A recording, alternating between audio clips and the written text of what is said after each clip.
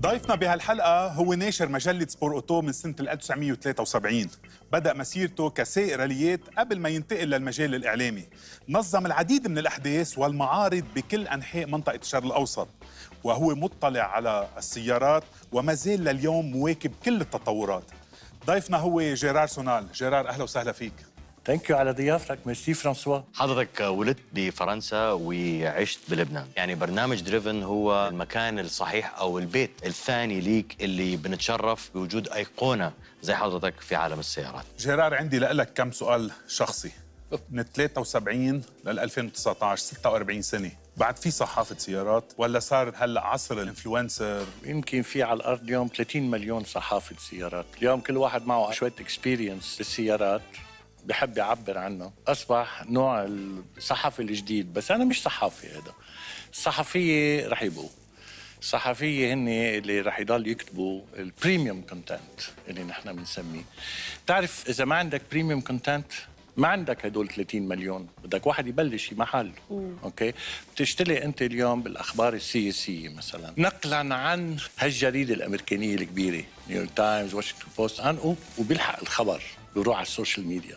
so so رح يضل في صحفية رح يضل في ناس تقدر تعطي المعلومه الصحيحه المدروسة المتقونه اللي بيقدروا يكملوا عليها كل ال social media يشتغلوا رح يضل في صحافة إيه. طبعا أنا مبسوطة إنك معنا بالذات لأنه في أسئلة أو myth تخص السيارات. كل شخص له جواب عليه أو version معين عليه. ودي أسألك إياها. يعني مثلا هل صحيح إنه في الصباح لما نشغل السيارة المفروض إنه ما نسوقها إلا إذا كانت السيارة محمية؟ شوفي أصبحت myth هيدي. من 30 سنة كانت حقيقة. بهذيك الايامات كانوا المحركات ينصنعوا بطريقة مش دقيقة.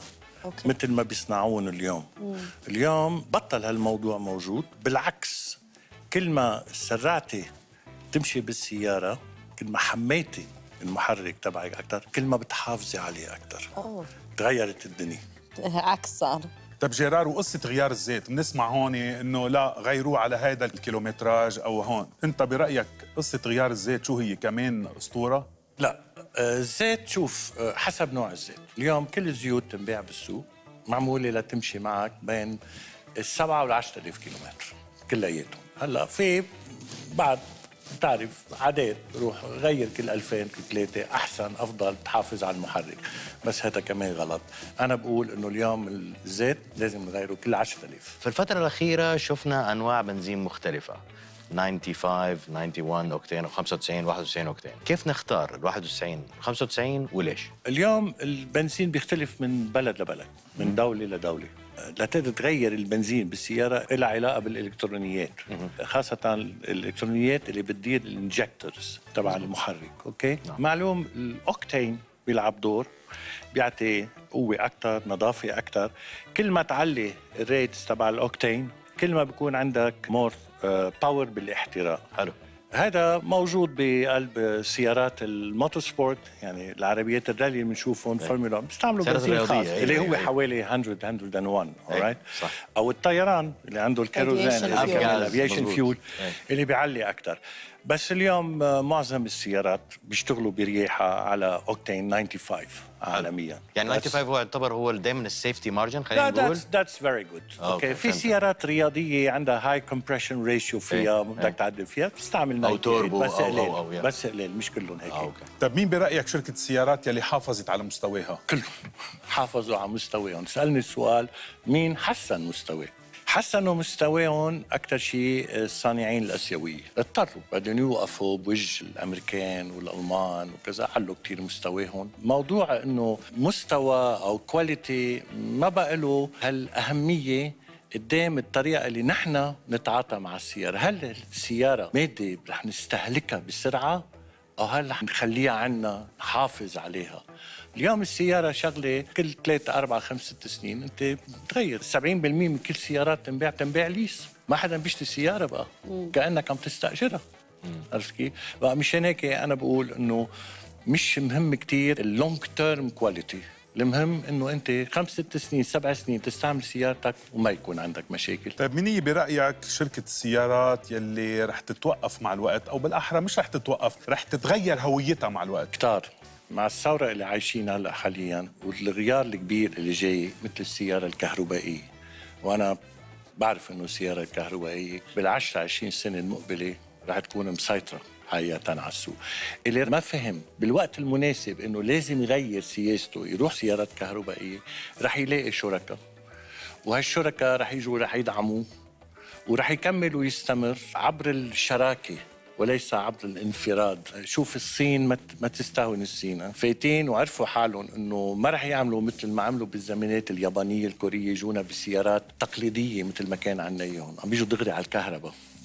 وشركات اللي كنا نضحك عليهم بالجيلي من كم سنة ما بتلاقيهم إنه صاروا شارين فولفو وفولفو بالعام 2021 رح تكون كلها كهربائية ما بقى في محركات عادي يعني عم بعطيك أمثال شوف ال brand الجديد اللي عملته مرسيدس مع ال EQ سيارات كهربائية. في اليوم 25 طراز حقيقة فيك تروح على ال showroom تشتريهم ما في غيرهم. في حوالي 100 110 hybrid بين البنزين والكهرباء. بس بعد 10 20 الله يخلينا طيبين. صح. ونشوف كيف رح نشوف هالثورة كيف عم بتصير وكيف عم عم, عم تنجح. لأنه أصلا انطلقت خلص مشي. هل تتوقع إنه حتصير في تصاميم تبهرنا أكثر من التصاميم اللي اوريدي كانت موجودة من أول؟ أكيد. لأنه هندسة السيارة رح تختلف. اليوم لما يكون عندك أربع محركات كهرباء على كل دولاب صغار بالزوايا البطاريات على سطح السيارة أو إذا بدنا على أسفل السيارة موجودين. كل المساحة اللي بتشوفيها هذه رح تغير كلها. صح. رح يقدر ال designer ما بقى يكون مربوط مقيد. بشروط مقيد إيه بشروط تقنية. السيارة كلها رح تتغير.